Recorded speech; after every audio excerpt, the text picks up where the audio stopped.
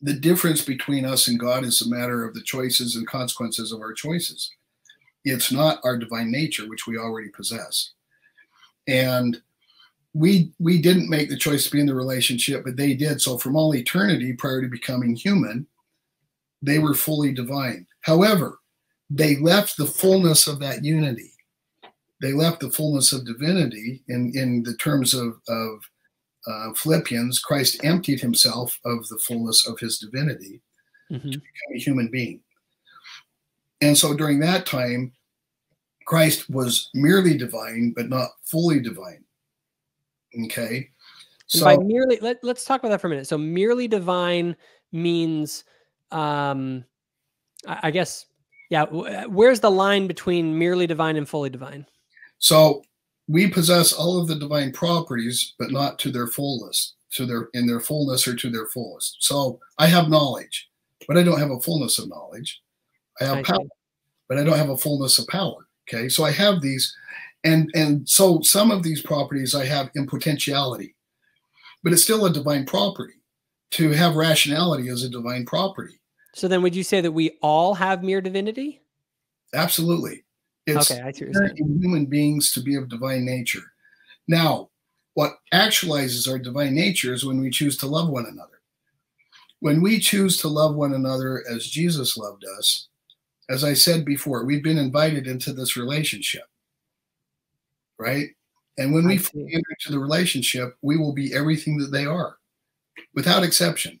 We will. The idea is is that we have these properties of divinity, but through covenant, they are inviting us into the unified relationship that allows for, let's say, full divinity, because we accept and then enter into that proper relationship with them and with one another.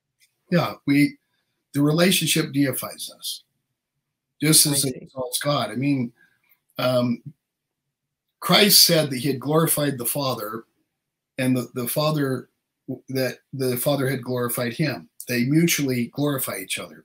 Mm-hmm. Well, we're glorified. We, we seek to glorify God as well.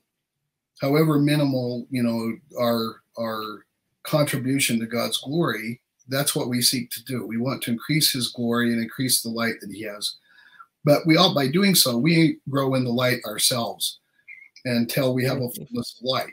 So there are some very, you know, there are common technical terms, and one of them is fullness. Um, you know, the pleroma in Greek, and so the Doctrine and Covenants uses the term of fullness of divinity and a fullness of, of, you know, so what Christ lacked when he was human was a fullness. And when he became fully divine, he had a fullness of divinity. Wow. And then in section 93, he turns around and says, You also, and then he talks about us receiving a fullness of divinity just as he has it. I give a chart comparing D&C 93 um, and and show that what everything that's true of Jesus, he says is also true of us. Okay. Mm-hmm. So exist like Jesus and the Father and the Holy Ghost. We've all existed from all eternity as individuals. The difference in our status is that is that we haven't chosen to fully love in each moment where we could.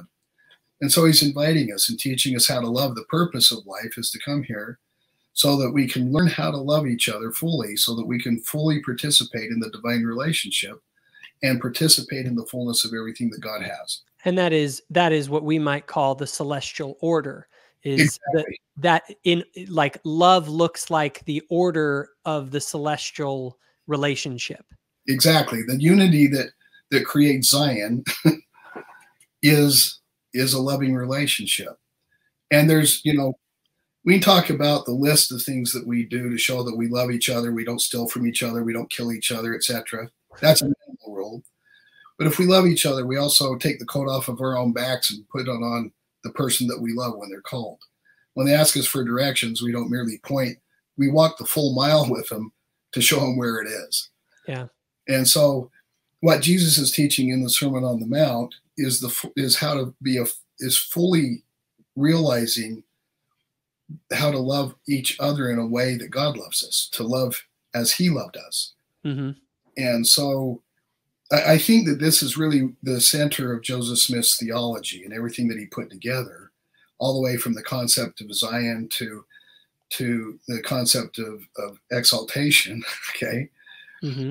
it's it's this notion of having a relationship such that we demonstrate our love for each other fully, and in so doing, we glorify each other, and we're fully glorified in God. We share fully in His glory and everything that He. When I say everything that He is, I mean all the knowledge that He has, we possess. All the power He has, we possess, and the entire all of our all of our potentialities realized to their fullest. No, because there's no fullest.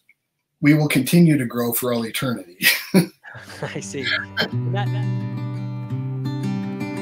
If you enjoyed this video, give it a like and hit the subscribe button. Also, if you want more content, including the podcast, go to thoughtful-faith.com. Thanks for watching.